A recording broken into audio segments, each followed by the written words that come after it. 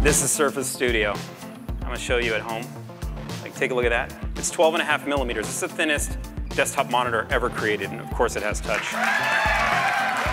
The idea behind it is we want you to be able to move effortlessly between those perspectives of drawing, drafting, up to typing, back through, so you can move through your motions and nothing gets in your way.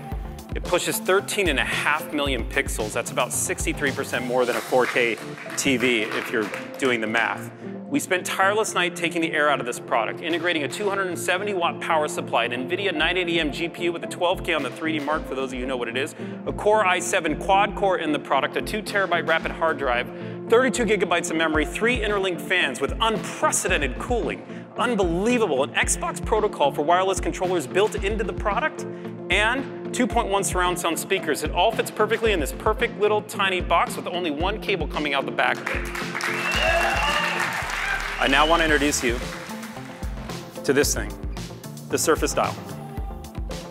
The Surface Dial was created as a new form of input. The Surface Dial with the studio, there's just this magic that takes place. The really special thing about the Surface Dial is when we can change the color while you're painting without even picking up the tip, that's not just as good as real life, it's better. It's a product you can pre-order today. If you want to experience it, which I think a lot of people may, get out to the Microsoft store, any Microsoft store tomorrow, and the Surface Studio will be there. Now for $3,000, it's an incredible value.